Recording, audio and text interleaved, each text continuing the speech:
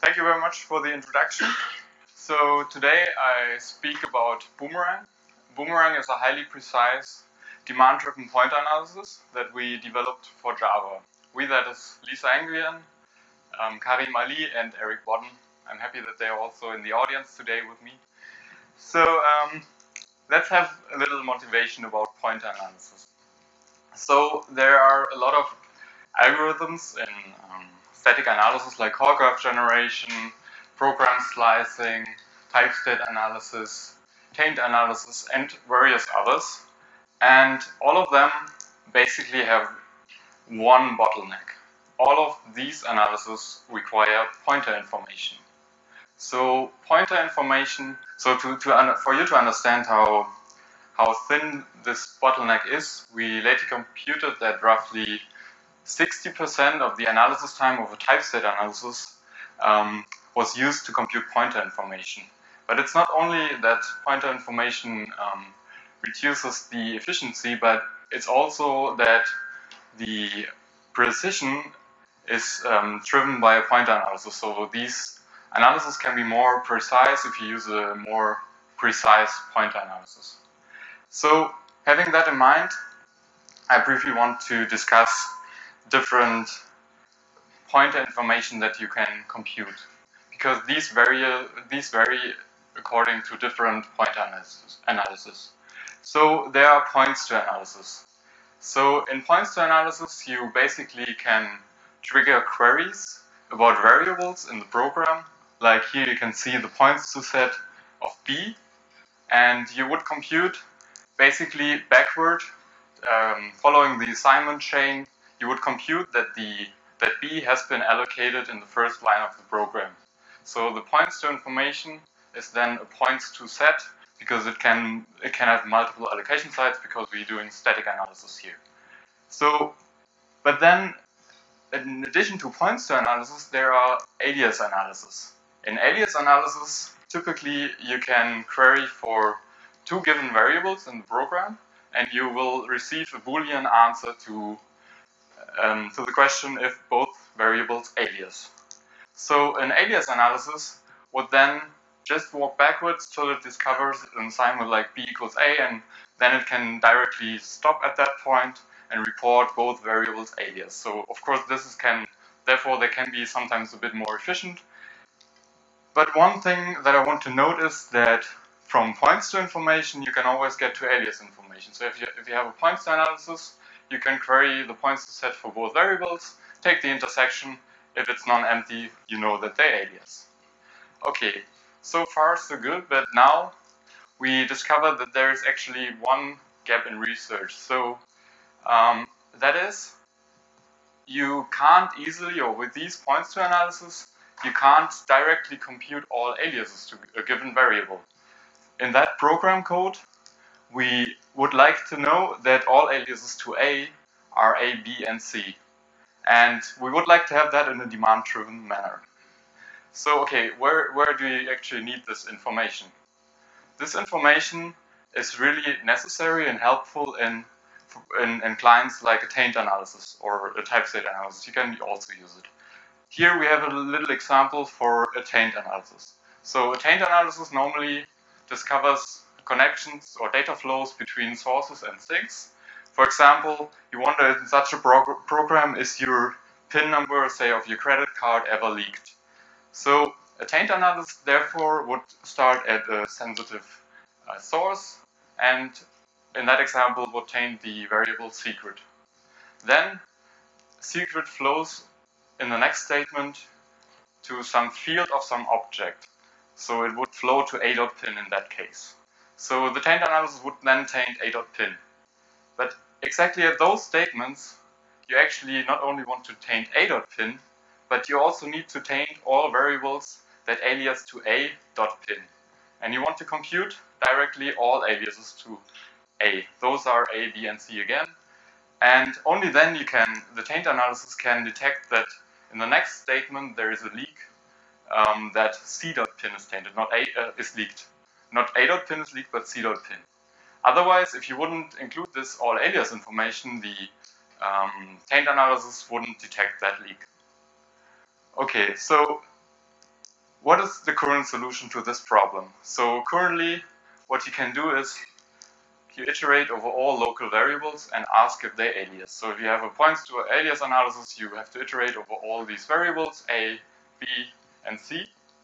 And then you would also need to, to ask if uh, A and secret alias. So as you can see, this is a serious overhead because we, we are here and we speak here about demand-driven analysis. You want to reduce the number of queries and you don't want to iterate over all these local variables to trigger new queries all the time. Okay, so therefore we designed Boomerang. So Boomerang is um, an analysis that you can trigger, so it's flow sensitive, you can trigger it at any statement, and it you can query for a vari variable at a given statement. So let's say here boomerang for, you want to know what is the aliases of A. It then first computes a backward pass, discovering the points to information, all the, the points to sets, and then it simply computes in a forward pass all aliases that you want to know. So here you see, already see the, the result set of Boomerang is quite rich. You have points to information and you have all aliases directly. So in this example, it looks really simple, but pointer analysis is way more complex. And this complexity arises as soon as you introduce fields in your program. So let's have a quick look how Boomerang does solve um, a, a program where fields are introduced. So here on that simple code, we want to ask what are the aliases of C. So in the first computation step, it would go backward, discovers that C has been allocated at the third line in the program, and then it computes a forward pass. As you can see now, in the forward pass, first of all, the, you would only compute the alias information C and A.F. Those are all aliases to to see, but there is information missing. And in Boomerang, we collect at this point, at these field write statements, we collect so-called points of indirections. And you have to trigger a subquery. So Boomerang calls itself recursively at the field write statement to trigger what are all aliases at A at the given field write statement A.F equals C. So then it computes the backward path and a forward path again, and it computes all aliases to A, are, those are A and B. Only if we have that information, we can finally compute the, the complete information, namely that all aliases to C are actually A.F, B.F, and C. So here is one thing I want to note. So we, we uh, so Boomerang uses IFDS internally to solve these subqueries. For those of you who knows who know IFDS, IFDS is actually only solving distributive problems.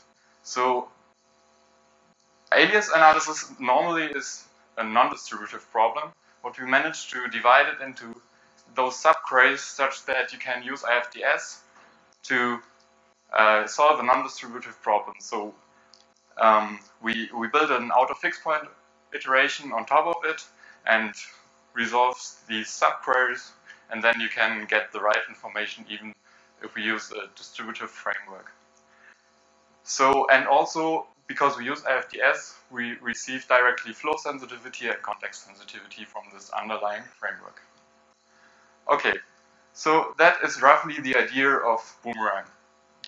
But then we wanted to integrate Boomerang into a client, say a taint analysis. And in a taint analysis, you actually want to coordinate. So the client, the taint analysis should coordinate the pointer analysis. And um, that's done in what we call the context resolution. What do I mean by this? So have a look at such an example. You have um, some taint flow, so you have some secret um, that is within method context one.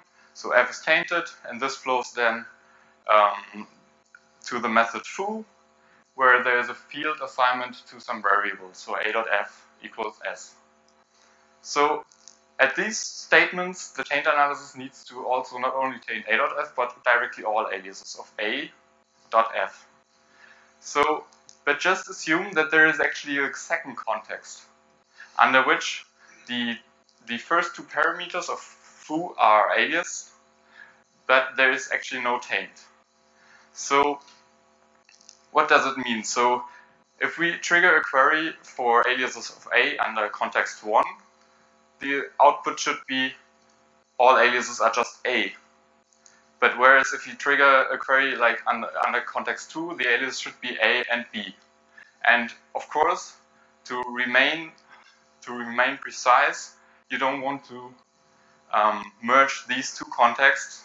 And the so boomerang should follow the path from the taint analysis.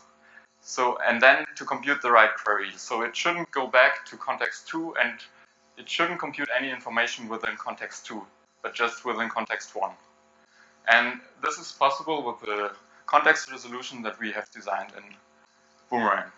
So for the details, uh, you can have a look at, at the paper. So those are mainly the features of Boomerang. So um, let's now go to the evaluation. So we implemented Boomerang um, within Soot, that is a static analysis framework for Java, and um, we wanted to evaluate precision and recall of Boomerang, but also the scalability. So, as I said, we implemented Boomerang, and we wanted to compare it to existing analyses. So we took two analyses. One is a points to analysis by Manu Sridharan and others from uh, PLDI 2006, and the other one is an alias analysis from, from Dacong Yan um, and others that has been published on ISSTA 2011. So both analyses are uh, flow insensitive, but as well context sensitive, and they are also demand driven. That makes them what we thought com comparable as possible. Okay, let's first focus on precision and recall. So for precision and recall, there was a problem to compare. That is, there is no yet a benchmark suite for pointer analysis on which you can compare. So therefore, within this work, we decided to come up with a benchmark suite that on which you can evaluate pointer queries. And um, we call that benchmark suite pointer bench. And we designed it in a way that they're really those are really small programs on which you can easily um, describe the pointer information that points to information, but also alias information. Um, so we we annotated all these programs with um, with the queries and the results. So we made it publicly available on GitHub, and we are really happy if people contribute contribute to it and add additional test cases such that comparison of pointer information becomes more easily in the future. So once we had this benchmark suite, we decided to, or we wanted to evaluate those three analyses on this benchmark suite. So here you see a diagram on, in which we show the precision and recall values. So all three analyses have, have a recall higher than 95%, and also their precision values are quite close, between 80 and 90%. So we wondered what, what, where's the difference here, and we wanted to um, let you know that Boomerang is slightly more precise than the alias analysis because there are cases like um, such where you have a little program where um, you actually don't have an allocation sites to variable, but B and A are aliased, or the alias analysis assumes they are aliased because it detects the statement B equals A, but there is actually no allocation sites to A and B. So for the uh, slightly higher recall, um, the queries for, so Boomerang supports queries of type like you can query where did A.F.B come from. So you can directly receive this information and it was not possible with the other two analyses. So this was the evaluation for precision and recall. For scalability, we then um, used FlowDroid. FlowDroid is a taint analysis tool that has been published on PLDI 2014, and um, it's it's can be used to find flows in Android applications. And what we did, we integrated Boomerang and all the other analyses into FlowDroid, Um, as I said before, like for the for Boomerang, you can directly use the right query format and gives you directly all aliases, whereas for the other two analyses, you have to iterate over all local variables to get the right information. So now um, we then used uh, 100 applications from the App Store and um, plugged these three analyses in and let them run on, on, on the applications. So in this chart, we show here the analysis time of the of the applications, so the averages of these 100 applications.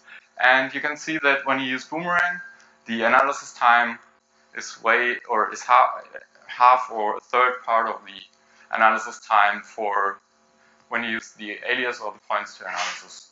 So one thing why that happens is because you have to query a lot more queries with the other two analyses. So in the second diagram here, you see that the analysis had to trigger way more queries when you use the alias or points to analysis.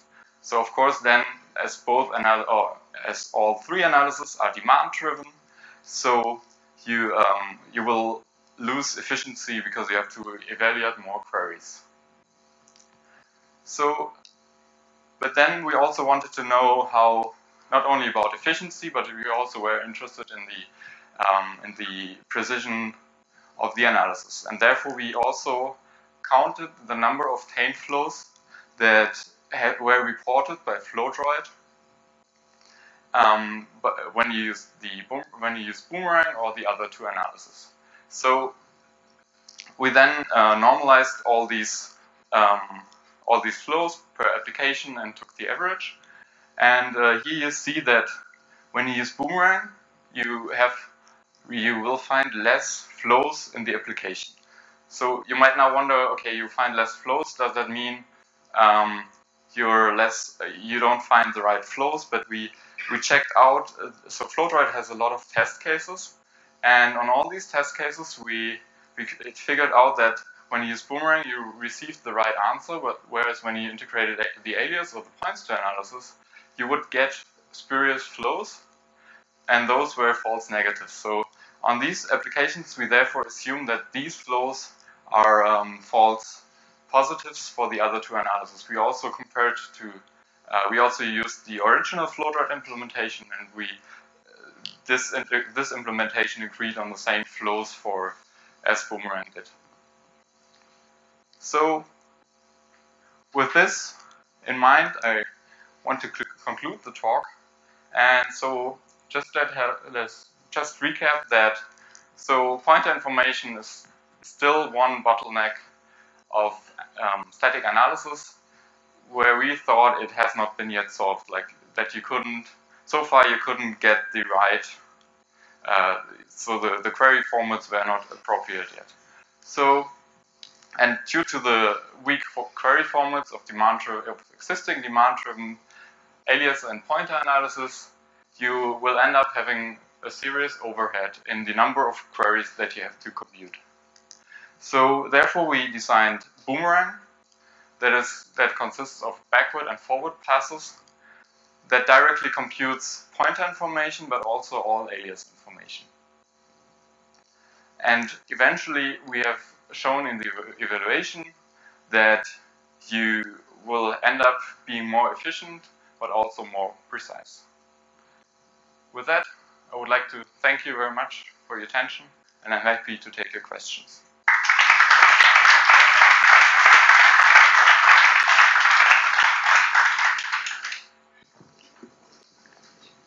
Uh, that's a very nice talk and enjoy it. Uh, so my question here is that in the backward pass, is it over approximation or the definition should be precise? And if it's not over approximation, how can you handle uh, loops? So um, we go back in the backward pass. You basically go backward till you find all the allocation sites, and there are also points of indirection at which you have to query more information. So in the backward pass already you will trigger subqueries that you have to resolve. And it will go to all these allocation sites. Um, so it, it, also uses IFDS in the backward pass and in the forward pass. And therefore, it, it will um, it will be an over approximation in the first part, part, like for the backward pass, but then from all these points to information, it will perform a forward pass again. Did it answer uh, your question? Yeah, on the first one. The, what about the loops? Are you unroll okay. the loops or? So for loops, we actually um, so Boomerang uses access graphs, so not access path. So access graphs are kind of a regular expression over field expressions and therefore you you will have an over approximation, of course, at some point, but you will we, we can handle loops and recursion in that manner. Thank, Thank you, Hans. I was just wondering, your benchmark suite for pointer analysis, you uh, are the it has a bunch of programs, yes. but also a collection of queries. Yes. So are the queries mostly tailored to your security analysis applications, or are you trying to cover other kinds of pointer analysis uses as well? So um, these pointer queries are take care of. Um, so first of all, these benchmark suite we have different programs for different types of features that a pointer analysis should um, take care of, like flow sensitivity, context sensitivity. Um, so different test cases are for different features. We try to separate these test cases. Um, and what we so these the information you get get from these um, on these programs is like you can query for one variable and you know the points to set of that variable, but you will also uh, know all aliases. So it should be the information information sufficient for every pointer and alias analysis. That's what we hope.